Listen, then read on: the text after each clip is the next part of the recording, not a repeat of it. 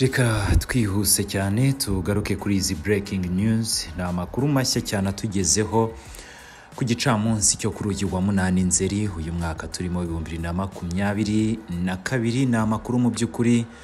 Kuva ku munsi w'ejo twakomeje kugenda tubagezaho ni amakuru yavugaga ko ubuzima bw'umwamikazi w'ubwongereza elizabeth wa kabiri ko butifashe neza. Mu gicamunsi rero n'ubundi cyo kuri uyu wa munani ni bwo amakuru agiye hanze ko umwamikazi elizabeth wa kabiri w'ubwongereza yatanze ako kanya akaba yahise asimburwa n'umuhungu we. Byose ku buryo buvunaguye tugiye kuba tubikugezaho gatanu kuri gatanu nk'uhaye ikaze no mu yandi makuru tuba dukomeje kugenda tukugezaho. Ni umwamikazi elizabeth wa kabiri w'ubwongereza yatanze kuri uyu wa kane ku myaka mirongo icyenda n'itandatu y'amavuko. Inkuru y'itanga rye yemejwe n'umuryango w'ibwami ni mu butumwa wanyujije ku rubuga rwawo rwa twitter aho wagize uti umwamikazi yatanze mu mahoro ibarimora kuri iki gicamunsi. Umwamikazi w'ubwongereza atanze hafite imyaka mirongo icyenda n'itandatu. Umwami n'umwamikazi baraguma ibarimora kuri uyu mugoroba hanyuma bazasubire i ku munsi w'ejo. Ni ku gice. Izi rero ni breaking news ni amakuru mashya cyane atugezeho ku gicamunsi cyo kuri uyu wa cyenda nzeri. Uyu mwaka turimo ibihumbi bibiri na makumyabiri na kabiri aya ni amakuru akomeye cyane agaruka ku mutekano.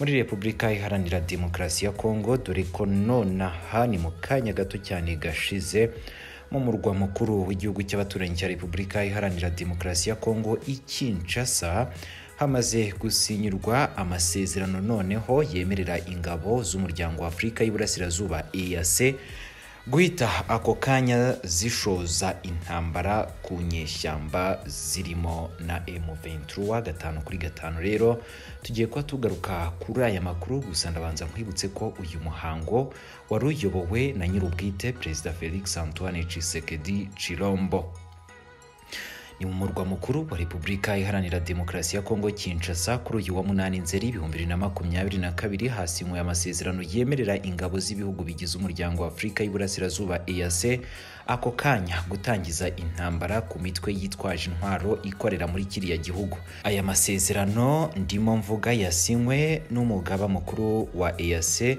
Dr. Peter Matuku Matuki ndetse na minisitiri w'ububanyi n'amahanga wa repubulika iharanira demokarasi ya kongo christophe rutundura. Uyu rero ni umuhango wari uyobowe na perezida felix Tshisekedi rutundura. Amaze gusinya aya masezerano yasobanuriye itangazamakuru ati koherezwa kw'ingabo ni mu rwego rwo gushyira mu bikorwa icyemezo cy'abakuru b'ibihugu bya EAC bigamije gukemura burundu ikibazo cy'ituze umutekano n'amahoro mu karere k'ibiyaga bigari. Ibiro bya perezida wa repubulika iharanira demokarasi ya kongo na byo birasobanura ko ingabo z'ibihugu bya EAC ngo zizoherezwa mu burasirazuba bw'igihugu mu gihe cya vuba aha rwose bikaba biteganyijwe ko umusirikare wo muri Kenya ari we uzayobora ibikorwa byazo. Nta kintu na kimwe kigeze gitangazwa ku bijyanye no kuba ingabo z'u Rwanda RDF na zo zazajya gufatanya n'izindi ngabo z'umuryango wa afurika y'iburasirazuba mu kurwanya izi nyeshyamba na cyane ko iki kibazo na cyo ubwacyo kirareba u rwanda kubera ko u rwanda ruhafite imitwe yitwaje intwaro igamije kuruhungabanyiriza umutekano irimo nka pi gatanu ya kayumba nyamwasa fdrr hanini igizwe n'abasize bakoze jenoside hano mu gihugu cy'u rwanda. Hari rudurunana FRN n'indi itandukanye n'ubundi ikorera hariya mu burasirazuba bwa repubulika iharanira demokarasi ya kongo gusa igihari ni uko dogiteri matuki ndetse na rutundura nibo bashyize umukono kuri aya masezerano ndetse kandi aya masezerano yasinywe hari intumwa zihagarariye EAC ndetse n'iza repubulika iharanira demokarasi ya kongo reka rero dukomereze no muri aya makuru. Njye mu kanya gato cyane turakomeza kubana no mu yandi makuru nkomeje kugenda mukusanyiriza nk'ibisanzwe gatanu kuri gatanu. Aya makuru tuyatanguye mu burundi umushikiranji wa mbere mushasha gervais ndirakobuca yinjiye mu mabanga kuri uyu wa kane ku muhingamo. Mu kanya gaheze yabisikanije na mugezi we asubiriye alain guillaume bunyoni.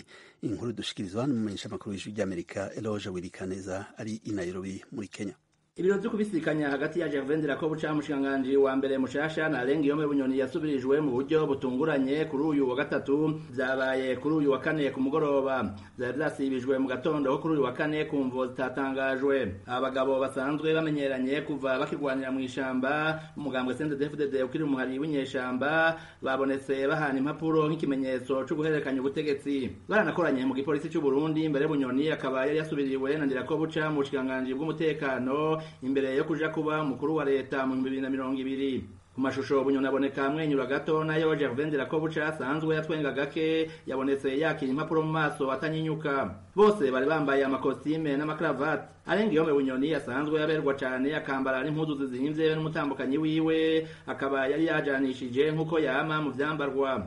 Bamaze kubonana mu ibanga umushikiranganji yahahora yavuze ko yasiguriye ugiye kumusubirira uko akazi gakorwa amwereka dosiye zose zibwirizwa gukorwa ku bw'ineza y'igihugu. Yavuze ko ikintu nyamukuru ariko ikoranabuhanga yemeza ko rizotuma n'abanebwa canke abiba batabasha kubikora. Igikorwa ca mbere ubuhinga ngurukana bumenyi bushobore kudufasha haba mu gutunganya imigambi mu gukurikirana ibikorwa canke mu gusuzuma aho ibikorwa bigeze ico twokwita digitalisation ni igikorwa gihambaye kugira ngo nshobore gutera intambwe kokora mu buhinga bwa none. Barya bahora banebwa abandi bakanyuruza abandi bagakora ibikorwa by'ibice kugira ngo kuva ku rwego rwo hasi gushyika ku rwego rw'umukuru w'igihugu ibikorwa byose bishobore gukurikiranwa mu mwanya mwiza.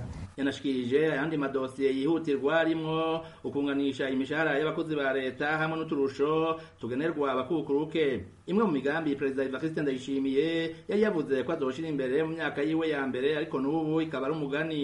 Igikorwa gikurikira ni umugambi wo gutunganya bushasha ibijanye n'intara z'igihugu n'amakomine y'igihugu. Biri mu bizofasha igihugu haba mu gushikiriza hafi ubutegetsi abenegihugu no mu kuduza umwimbu mu gihugu canye tugatuma iterambere ry'igihugu ryihuta kuduga. Igikorwa kigira gatatu ni kijanye n'intumbero y'igihugu kijanye no gutunganya neza imishahara y'abakozi ba leta kugira ngo ubusumbasumbane buve mu nzira bikurikiranwe neza ntihabemwo wanja wangura. Icyo gikorwa kigeze kure icyo twona gifatanya gikorwa kijanye n'ingene igihugu kibwirizwa kwitaho abakukuruke bagenda mu karuhuko k'izabukuru nk'uko nyene icubahiro umukuru w'igihugu yabishikirije avuga ati niburi buri ugiye mu karuhuko k'izabukuru ashobore gutahana agashahara yari ageze ko n'abakukurutse kera nabo nyene ntibibagirwe hagire ikigaragaye kuri bo. Alain Guillaume Bunyoni yasubirijwe mu buryo giturumbuka kuri uyu wa gatatu. Ntamvo n'imwe yigeze itangwa na perezida Evariste Ndayishimiye yasavye inama nkenguzamateka na nshingamateka kwemeza umushikiranganji wa mbere mushasha Gervais Ndirakobuca. Kuri uyu wa gatatu vyari vyavuzwe ko abagize leta nshasha badateba kumenyekana ariko siko vyagenze n'ubu ntibaravugwa. Umukuru w'umugambwe senere utavuganwe n'ubutegetsi ukaba n'uwa kabiri waronse amajwi menshi mu matora y'ibihumbi bibiri na mirongo ibiri ya gatonde rwasa yasavye ko iyi leta iroye gushingwa. Yojamwo abashikiranganji bo migambwe yose nk'uko vyakorwa ku ntwaro y'umuhisi Pierre Nkurunziza. Kuri uyu wa kane haba kubisikanya k'umushikiranganji wa mbere mushasha n'uwahahora amenyesha amakuru atari bake bakorera ibinyamakuru vyigenga bidoze bavuga ko bankiwe ukurikirana ibirori.